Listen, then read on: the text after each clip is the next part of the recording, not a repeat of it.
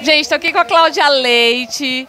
Claudinha, queria que você falasse, 10 anos depois, retornando para Ribeirão, e você faz parte é a micareta de Ribeirão a história, porque quantos carnaveirão da vida você participou, né? Você fez tanto é, apresentação e levou tanto trio por aqui, né? Ou seja, e o principal, são gerações diferentes, né? É. Tipo, de nove anos atrás e a galera nova que tá aqui e da geração antiga que tá aqui também. Uma, uma geração que não separou, uniu a gente.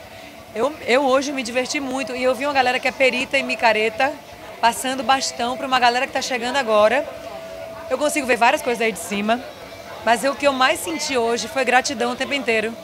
Hoje eu me diverti muito com a minha banda, a gente estava ali, eu não sei se você viu, eu, a gente estava ali grato porque as pessoas estavam felizes, as pessoas esqueceram o celular, elas registraram, óbvio, né, um momento para você guardar, levar de lembrança, mas elas elas estavam comigo, elas né? estavam comigo no mesmo lugar, na mesma vibe. Ó, finalizando, você comemorou 20 anos de carreira o ano passado. O que, que falta? Falta, falta alguma coisa para Cláudia Leite ainda?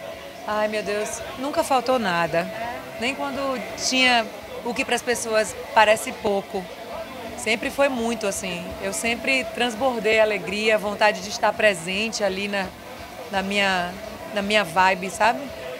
E eu, eu acho que hoje eu, eu quero mais, porque eu sou saudável porque eu estou aqui desse jeito, alegre, grata. Eu quero mais, mas não falta nada. Obrigada, Claudinha. Eu te agradeço, obrigada.